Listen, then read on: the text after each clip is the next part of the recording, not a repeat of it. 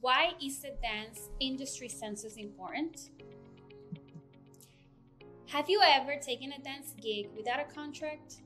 Do you feel you're being underpaid for your labor as a dance worker? Has your dance organization struggled to receive funding? Hi, I'm Francis and I am the Development Assistant at Dance NYC. I am a light skinned Arab Latinx immigrant, able bodied queer cisgender person. I am wearing a white top decorated with black and white jewelry, and my hair is up.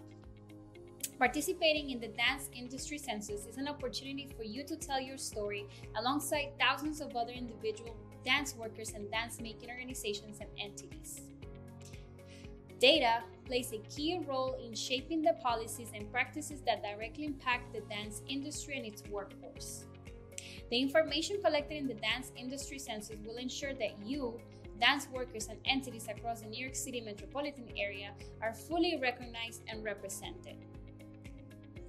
And while participation is entirely voluntary and may not benefit you directly, your contributions will make an impact and help us create meaningful change for our industry. The dance industry census is open until October 31st, so get counted today at dance.nyc slash dance industry census.